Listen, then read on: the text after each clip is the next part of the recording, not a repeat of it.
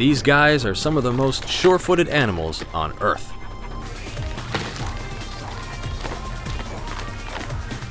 Baby mountain goats have to catch on quick. Just days after birth, they make this treacherous terrain their playground.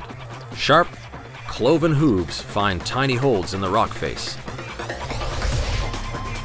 And strong legs power them up the mountainside.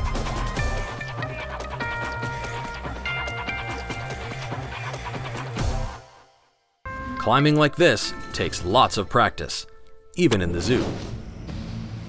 Okay, everyone, your dad, I mean, your coach is here. Let's go. Okay, team, visualize that gold medal. Climbing drill. Let's go. Go. That means you, Jimmy. Run like the wind, blowing uphill. Oh, everyone, stop. Stop here. Okay. Do you feel that? Can you feel that? Feel the rock. Be the rock. Um. I don't get it. Be the rock. Yes, sir. Good. And dismount. Down the hill. Go, go, go, go, go. Good.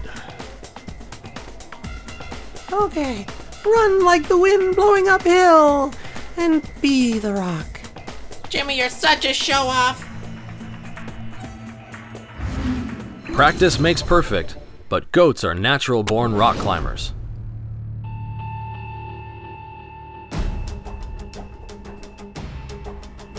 They can scale a 60 degree incline of sheer rock.